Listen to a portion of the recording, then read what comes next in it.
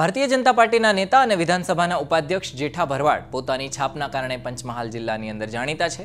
અવારનવાર તે ચર્ચામાં રહેતા હોય છે, પણ આજે જે ઘટનાના કારણે તે ચર્ચામાં છે, તે અતિ ગંભીર છે. તેમના પર શહેરા કોંગ્રેસના વિપક્ષના નેતા જે બી સોલંકીએ આક્ષેપ લગાવ્યો છે કે જેઠા ભરવાડના માણસોએ તેમના પર હુમલો કરાવ્યો હતો અને એટલો માર માર્યો કે એમના હાથ પગ તૂટી ગયા. ગુજરાતની પવિત્ર વિધાનસભા.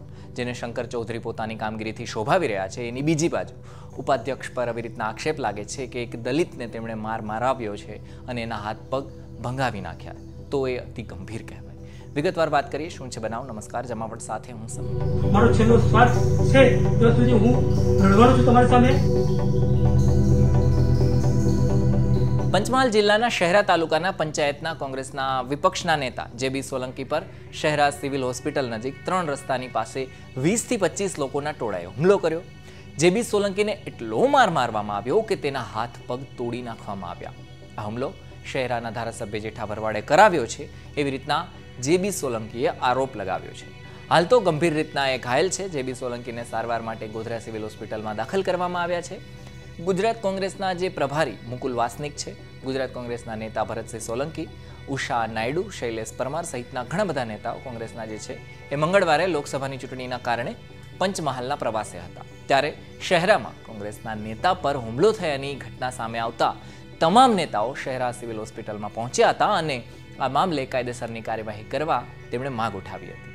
પોતાના પર થયેલા જીવલેણ હુમલાને લઈ અને જે બી સોલંકીએ કહ્યું હતું કે ગુજરાત વિધાનસભાના ઉપાધ્યક્ષ જેઠા ભરવાડ દ્વારા મારા પર હુમલો કરવામાં આવ્યો છે. આ હુમલાની પાછળ ધારાસભ્ય જેઠા ભરવાડનો હાથ છે એવો આક્ષેપ લગાવ્યો હતો, જેના કારણે આખું રાજકારણ છે ગરમાઈ ગયું હતું. તેમણે પોલીસ પર પણ નિશાન સાધ્યું હતું કે મેં પોલીસને અનેકવાર કહ્યું હતું કે મને પ્રોટેક્શન આપો.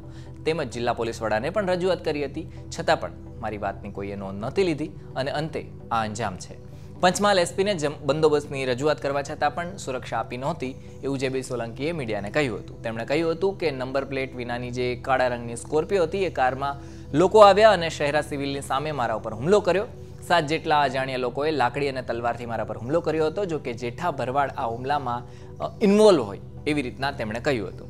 બીજી બાજુ જેઠા ભરવાડનો પક્ષ આપણે સાંભળીએ તો એમણે કહ્યું હતું કે હું આ હુમલામાં છું જ નહીં. તેમણે કહ્યું હતું કે જે બી સોલંકી તાલુકા પંચાયતના ચૂંટાયેલા વ્યક્તિ છે, તેમની સામે અનેક કેસ થયેલા છે. હું તો મારી ઓફિસ અમદાવાદમાં બેઠો છું, મને તો આ બાબતે કંઈ ખબર પણ નથી. જો કે હવે આ સમગ્ર મામલે પોલીસ શું કાર્યવાહી કરશે, તેના પર સૌની નજર રહેલી છે. કોંગ્રેસના નેતા જે બી સોલંકી પર થયેલા હુમલાને લઈ અને પ્રતિક્રિયા આપતા ભરતસિંહ સોલંકીએ ધારાસભ્ય જેઠા ભરવાડ સામે આક્ષેપ કર્યો હતો કે તેમણે જ આ બધું કરાવડાવ્યું છે અને જેઠા ભરવાડે લોકશાહીનું ખૂન કર્યું છે અને તેમના દ્વારા ગુંડાગર્દી કરવામાં આવે છે. બીજી બાજુ બનાવને લઈ અને પોલીસ દ્વારા ફરિયાદ નોંધવામાં આવી છે. આ સિવાય પોલીસે અજાણ્યા હુમલાખોરને ઝડપી પાડવા માટે તપાસ હાથ ધરી દીધી છે. જોઈએ હવે તપાસની અંદર શું હાથ આવે છે, કારણ કે આ બહુ ગંભીર છે. જે વિધાનસભાના ઉપાધ્યક્ષ છે જેઠા ભરવાડ, એમના ઉપર આક્ષેપ થયા છે. કોઈ સામાન્ય વ્યક્તિ પર આક્ષેપ નથી થયા.